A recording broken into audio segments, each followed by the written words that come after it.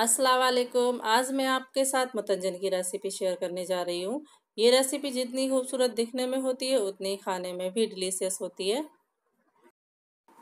ये बनाने में बहुत ही आसान और बहुत ही झटपट से बनने वाली रेसिपी है। तो चलिए बिना टाइम वेस्ट किए हुए हम इसको बनाना शुरू करते हैं।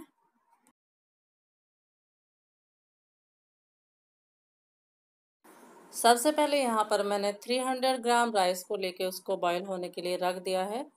तो राइस को हमें हंड्रेड परसेंट तक कुक कर लेना है।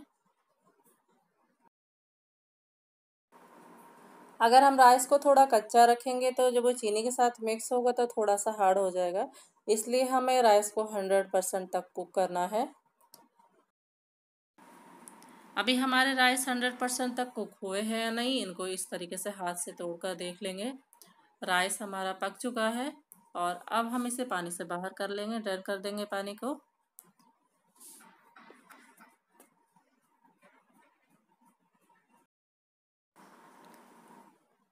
थ्री हंड्रेड ग्राम लिया है यहाँ पर मैंने sugar, one tablespoon green tutti frutti, one tablespoon red tutti frutti छः से सात ग्लैच चेरीज, और जो राइस पकाए थे उनमें मैंने ऑरेंज फ़ूड कलर और ग्रीन फ़ूड कलर दोनों में मिक्स कर लिया है। और ड्राई फ्रूट में लेंगे हम यहाँ पर बारह काजू, पंद्रह किशमिश, पंद्रह पिस्ताचियो और बारह लेंगे आलमंड फ्राइंग के लिए लेंगे यहाँ पर घी, मैं देसी घी का इस्तेमाल कर रही हूँ।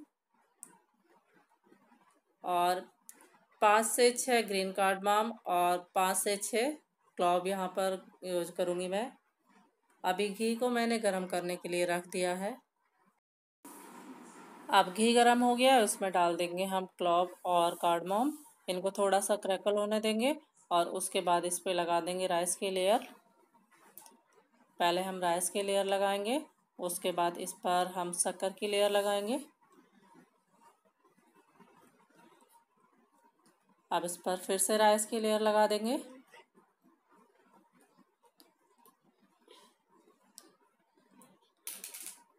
अब राइस को अच्छे से फैला देंगे इस पर। और उसके बाद जो बची हुई हमारी और शक्कर है, उसकी लेयर लगा देंगे इस पर।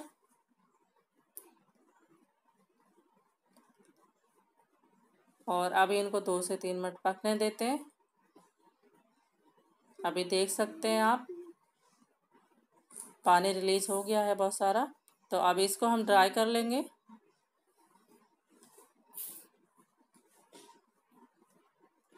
तो पानी को हमने ड्राई कर लिया है, उसके बाद हम डाल देंगे इसमें ड्राई फ्रूट्स जो हमने लिए थे, और डाल देंगे रेड टूटी फ्रूटी और ग्रीन टूटी फ्रूटी इनसे इसमें टेक्सचर भी अच्छा आएगा, इसका टेस्ट भी बढ़ जाएगा और दिखने में भी ये खूबसूरत लगेगा। मिक्स कर देंगे इनको अच्छे से। और अब एक जगह डाल देंगे हम ग्रीन राइस और एक जगह डाल देंगे ऑरेंज हमें इनको ज़्यादा फैलाना नहीं है, वरना इनका कलर मिक्स हो जाएँगे। बस इसी तरीके से इनको छोड़ देना है और एक लेड से ढक देना है इनको। अभी हम इनको आठ से दस मिनट दम पर पकने देंगे और उसके बाद देखते हैं। अब इनको आठ से दस मिनट दम पर पकते हुए हो गया है, देख सकते हैं आप। तो ये मतंजन हमारा बनकर एकदम तैयार हो चुका है। अब हम इसे सर्व कर लेंगे। ये मुतंजन बनकर हमारा तैयार हो चुका है और अगर आपको वीडियो पसंद आई हो तो वीडियो को लाइक कीजिए और वीडियो के नीचे जो रेड बटन है सब्सक्राइब का, उसको प्रेस कीजिए और बेल आइकन को भी दबाइए ताकि जो भी मैं वीडियोस डालूँगी उसकी अपडेट आपको मिलती रहे। Thanks for watching.